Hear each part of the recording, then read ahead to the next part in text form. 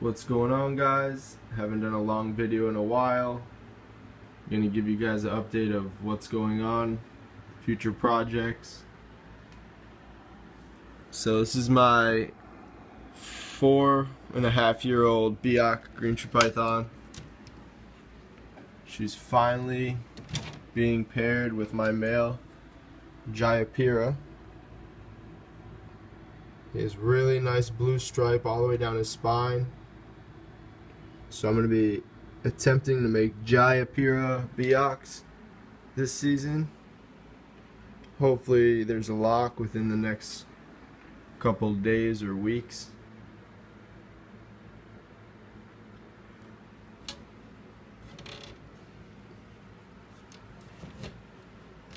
This is my hatchling rack. I keep leopard geckos and a few hatchling ball pythons. So blazing blizzard, leopard gecko.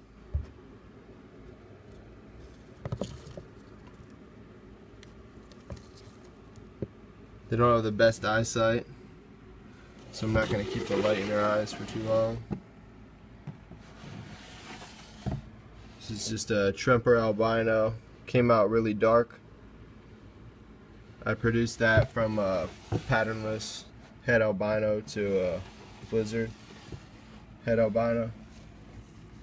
This is a, one of its siblings. Same genetics. Tremper albino. It's het for blizzard and patternless.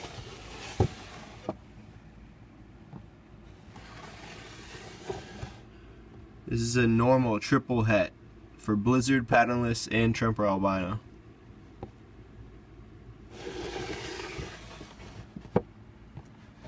These three tubs are all piebald hatchlings, 2014s.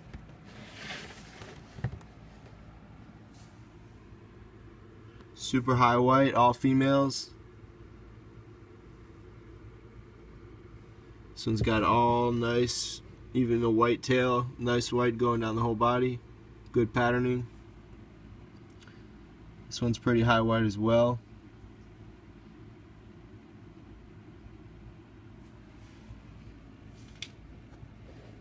This one's nice. Really cool blushing on her back. Give you guys an idea of how big they are.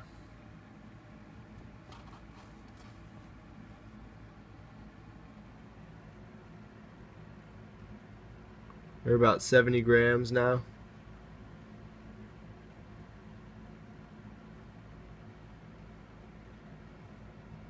Cool little eight looking saddle on her back.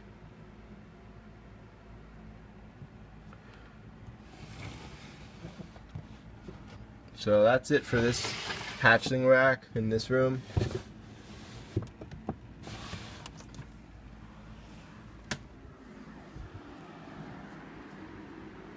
This is my Emerald Tree Boa setup. It's a male northern Emerald Tree Boa. Super tame. About two and a half, three years old now.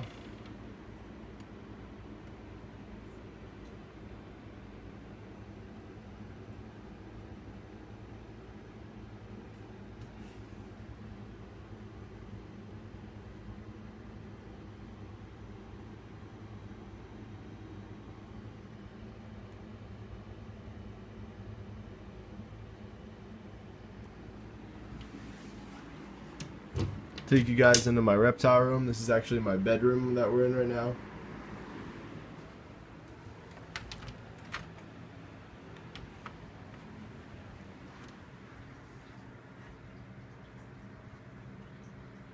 It's my reptile room.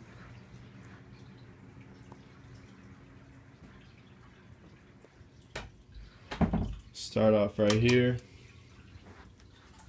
It's my Sorong Green tree python female.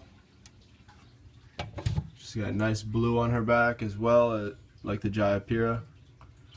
She's breeding size now, so I'm going to probably try to breed her to the Jayapura as well this season. Super tame, probably tamest out of all my green trees.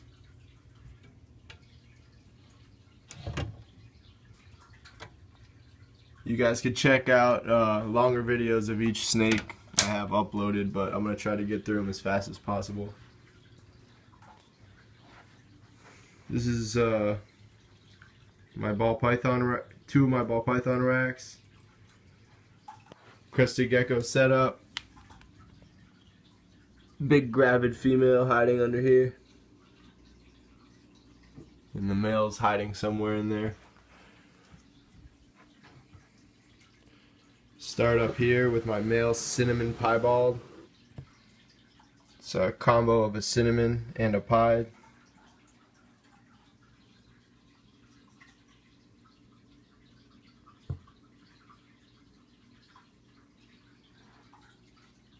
Really nice high white whole snake.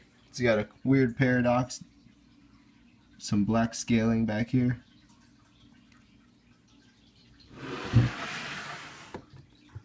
Is my 2012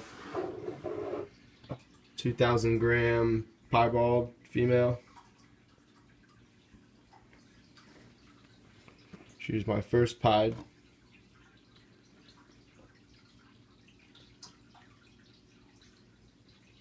She has the paradox spots as well on her. They seem to develop them when they get older.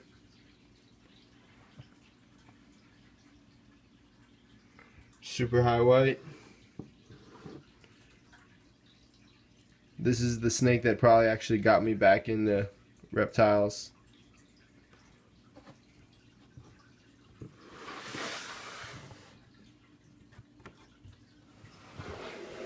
This is 100% uh, het pied female.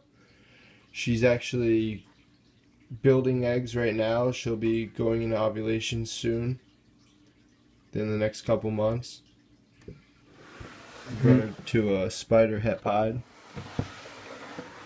The actual spider het pied is right here, male.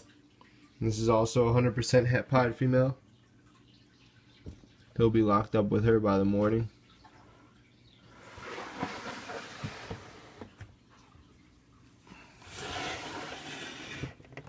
This is uh, 2014 Pied Hatchling female. She was my first pick out of going through about 50, 55 or so piebalds. She had the nicest uh, pattern in my opinion.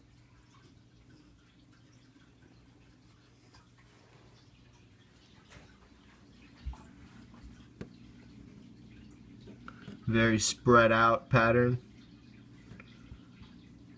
She's really Looks like she wants to nip me right now.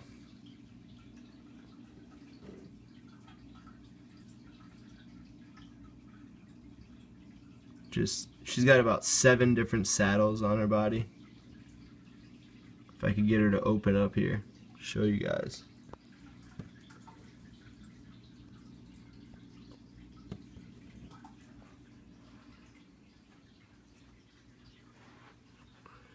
She's not cooperating very well.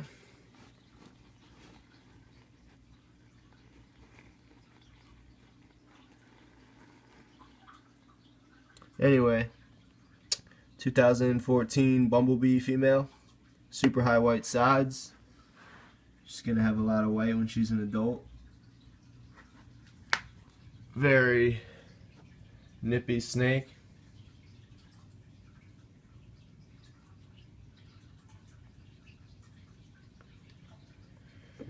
Trying to tame her out. Handle her pretty much every day. These are two more 2014 piebald hatchlings.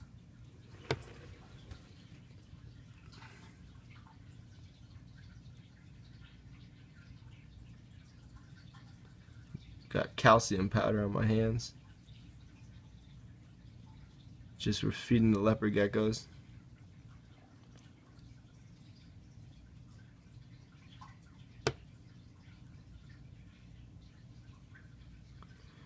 That one's like a medium white. This girl is a uh, high white.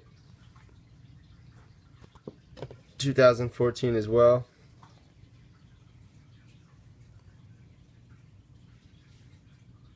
hungry. I try to feed them like twice a week. They're eating hoppers right now.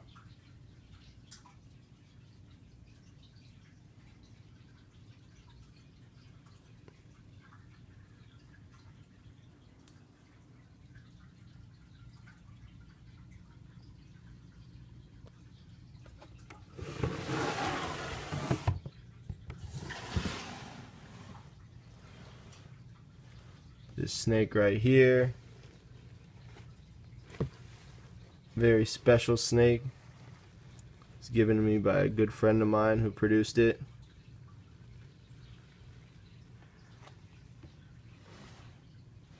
This is uh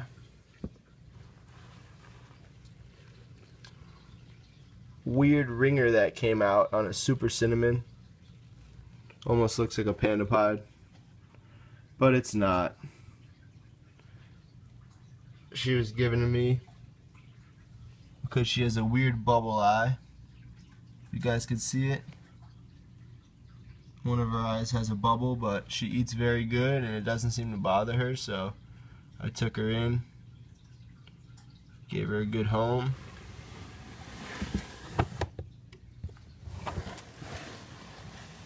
She has a clogged tear duct this is a Mojave female. Deep in shed.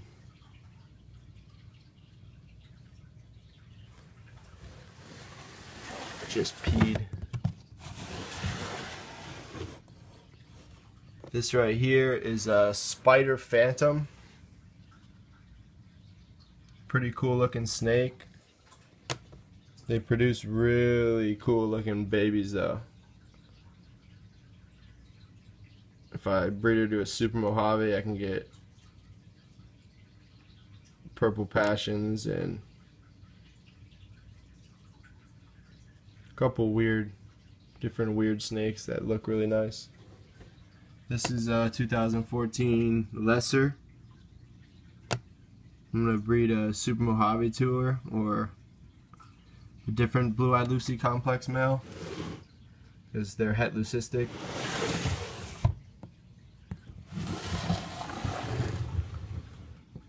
This is, whoops.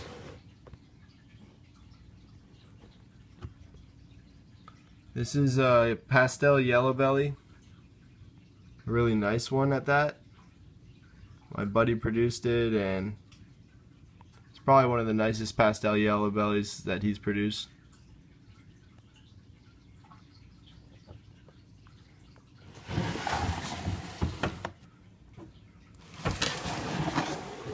This is a female spider, 100% het piebald.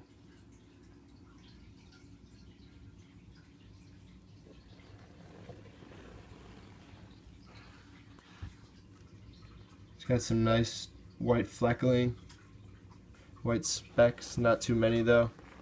She could be a lot more high white for a spider, but at least she has some.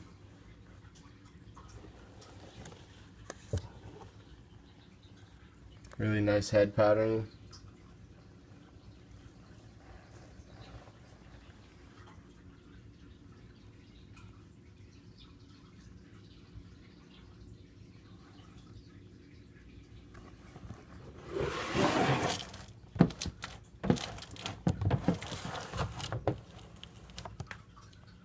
This is my male piebald.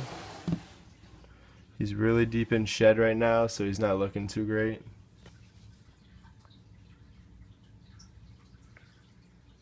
Looks like pink and a lot darker than he usually is.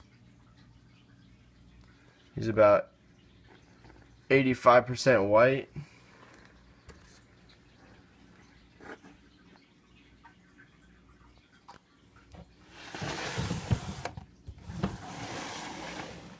This is a pastel female.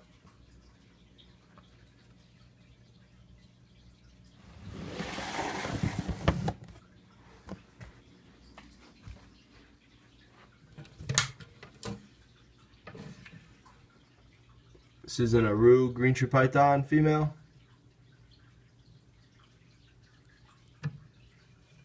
Decent amount of white scales. Good amount of blue as well.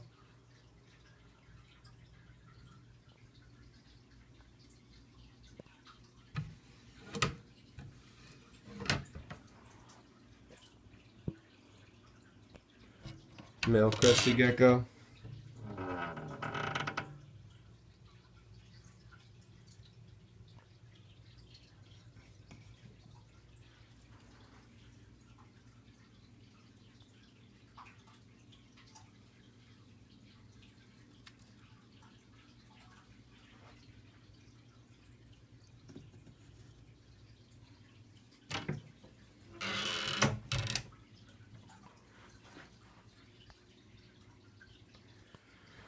Over here is my other rack.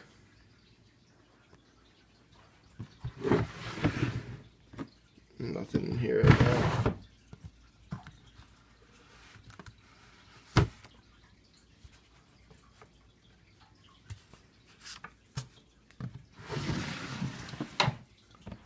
These are the parents of the hatchling leopard geckos I showed you guys in the other room. She's actually gravid again. If you could see the egg in there. She's uh, about to probably drop another two eggs here in the next couple days.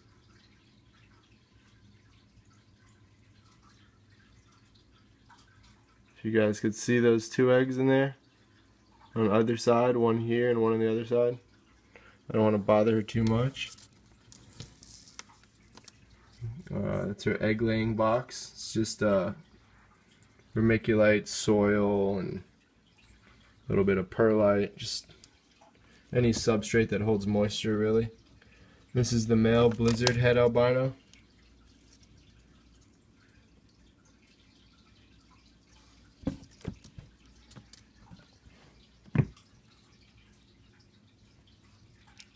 It's an albino patternless.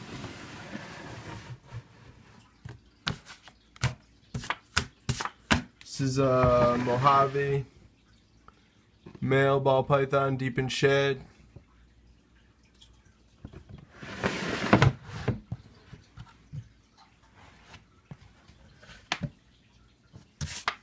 A couple of these tubs are empty. This is a silver bullet ball python. It's a super cinnamon pastel.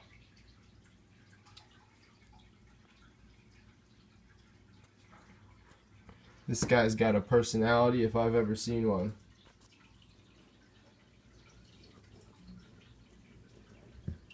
He's got a really cool paradox.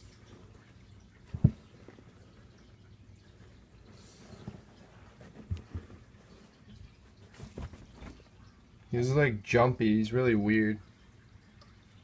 But he's got a really cool paradox right here.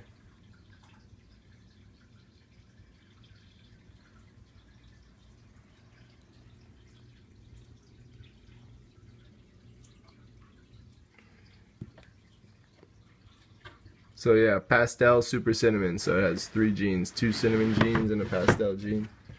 It's called the silver bullet. Here, my female sunglow boa constrictor. Just ate a jumbo rat yesterday, so I'm not gonna bother her too much. She has nice pattern, but not as nice as my male that I'm about to show you guys which is right here. He's in shed though right now, so he doesn't look too good, but you can see his pattern is a lot nicer than hers. A lot more pattern, more busy. Little hourglasses.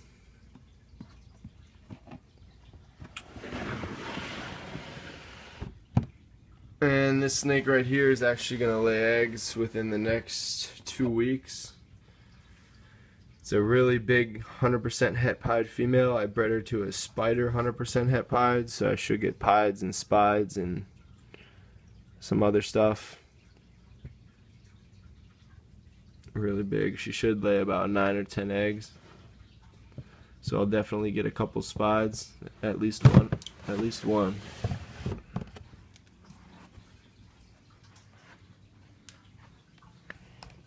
Got a jaguar carpet python here.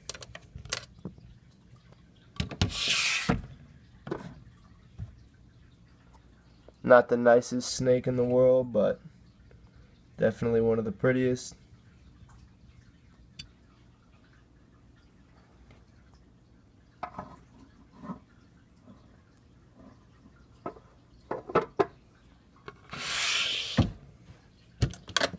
You guys have vision cages. Keep little chopsticks in here. Hold the door from opening. Okay. Last snake in here. My Biak Green Tree Python. I keep this little paper here because she's nervous and she doesn't really eat very good. She's a picky eater. So when I walk by the cage, I don't want her to get nervous during the day. I walk by a lot.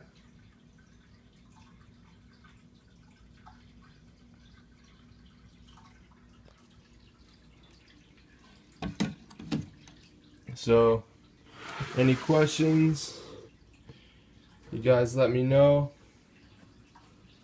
This guy's about 500 grams, so I'm introducing him to my piebald who's finally ready to breed. Well, she's actually more than ready to breed. Hopefully we get a lock. This will produce half pods and half cinnamon pods. Well, that's the odds. I could actually get cinnamon pods seem to come out in abundance. So I could get, you know, 75 80% cinnamon pods and the rest pods. We'll see. Alright, guys, any questions? Let me know. Subscribe if you guys haven't. Thumbs up if you like the video. See you later.